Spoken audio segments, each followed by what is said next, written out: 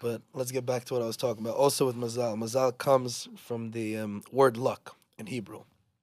So when we say mazal, also that means that um, the product that you're purchasing or the money that you're giving in this deal means that it's coming with a lot of good luck and a lot of good fortune. You know, so let's say we mazal over this piece, and you give me money for it, and we say mazal. That means the money you're giving me is gonna come in good fortune and good luck, and the piece that I sell to you, may you have good luck with this piece also. So you have many different meanings with it, and um, it's a very sacred word in our business. It, this this word has uh, done trillions of dollars in transactions. Tr- So when all you people freaking DM me and say mazal over a piece and don't send me the funds, just know you're breaking the freaking rules, guys. You're breaking the rules that we uh, that is sacred to us.